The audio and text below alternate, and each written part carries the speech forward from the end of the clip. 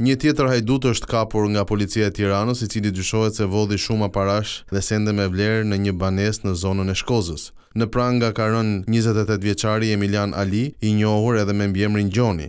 Gjatë kontrollit, policia i gjeti të riut shtatë mijë e pesëqind euro, mbi një mijë paund, si edhe disa sende floriri me vlerë. Siç duket edhe nga pamjet e kapura nga kamerat e sigurisë i riu përmes ballkonit kishte arritur që të futet në banesë dhe kishte marrë shumat e parave dhe sendet e tjera. Sipas policisë autori ka vjedhur në këtë banesë mbi nëntë mijë euro si edhe dy mijë paund. Njëzet e tetë vjeçari rezulton i dënuar edhe më përpara për vjedhje.